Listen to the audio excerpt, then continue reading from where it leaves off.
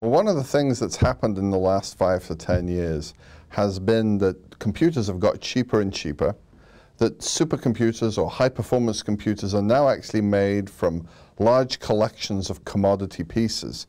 And that has enabled uh, manufacturers to place um, thousands, if not tens of thousands, of chips uh, in the very small um, packages or footprints, as they call them. If you've ever sat with your laptop on your lap watching your television at night, then you know how warm that device can get. Now, if you can imagine a thousand machines running like that and probably actually appreciably hotter than that chip, you'll get some sense of the kind of energy draw and uh, cooling that's required to make these machines run.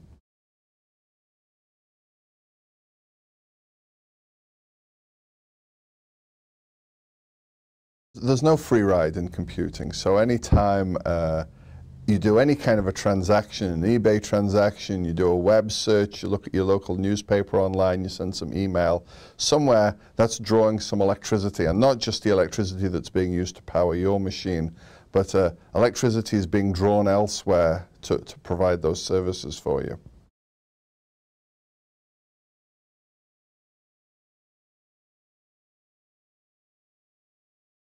All the large providers of services now, whether it be Amazon or eBay or Google or Yahoo or Microsoft, any large institution like a university, hospital systems, government agencies, are all running large data centers, some of them very large. And these large data centers aren't like the data center that we maybe think of when we think of them. We think of the data center in the, of the HAL 9000 in the 2001 A Space Odyssey or in other uh, movies from the 70s or 80s with large banks of uh, white cabinets and very quiet environment, a cool environment. Modern data centers are hot places, they're noisy places, they're like a boiler room.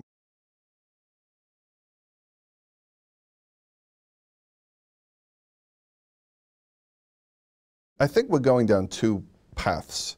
First of all is how can we use the equipment we have right now at its most effective? And secondly, are there new technologies uh, emerging that will allow us to make a significant improvement in our efficiency? On that second front, we're definitely very actively exploring right now with uh, some brand new companies, uh, some very interesting opportunities in uh, high performance computing that will require some work on our side to make the, these machines effective, but do allow us um, the opportunity to consider significant reductions of energy usage. So um, one reasonable measure there would be a, a reduction of 75% or 80% of the cost of the electricity and the associated cooling um, requiring some different coding skills and some different analysis skills, but uh, that opportunity is absolutely there, and we want to see if we can leverage that.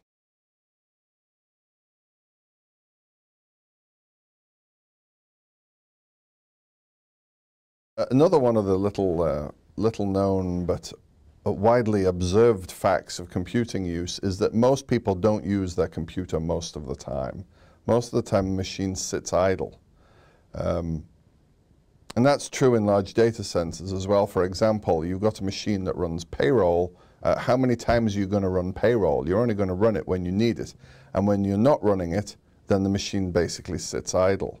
We have a fairly aggressive, in fact, we have a very aggressive program here at Purdue that uh, cycle scrapes or captures waste cycles or machines just sitting idle. So whether they be in our labs or whether they be our large research machines, when they're not actually in use with a, with a user in front of them, they're actually being used by other programs to carry out research. My own desktop machine, uh, two processor Dell, um, also is one of the 7,000 machines on campus that we use for this purpose.